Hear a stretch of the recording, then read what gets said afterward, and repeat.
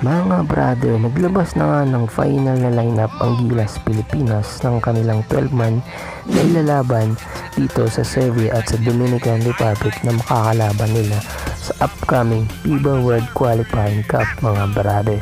At hindi nga napasama dito ang crowd favorite na si Reblon Lopez mga brad.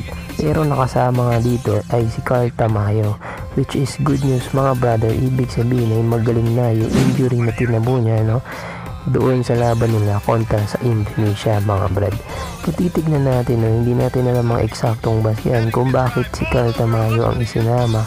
Pero sa tingin ko mga brother, dahil ito sa mga gandang naging performance nila laban sa Korea mga brad, isa sa, sa mga factor nun kung bakit tayo nanalo. No, at maganda kay Carl Tamayo is yung height niya na 6'7 which is kakailanganin talaga natin ng bigs laban niya doon sa Serbia dahil yun ay isang powerhouse at yan lang may mayroong mga, mga matatangkad na bigs mga brother.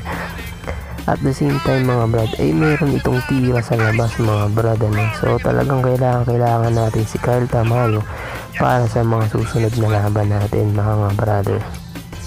Ang laban nga ng Gilas kontra nga sa Serbia mga brad ay sa July 1 at sa July 2 naman laban sa Dominican Republic mga brad. Marami nagsasabi na suntok sa buwan daw para manalo na lang dito ang Gilas. Pero tignan pa rin natin mga brad at hope the best pa rin tayo dahil maganda rin naman ang performance na ipinakita pa rin ng Gilas kontra nga dito sa China which is marami ding mga beats mga mga bigs mga brad so yun nga lang ang mabilis nating update at i-click mo na yung subscribe time out na tayo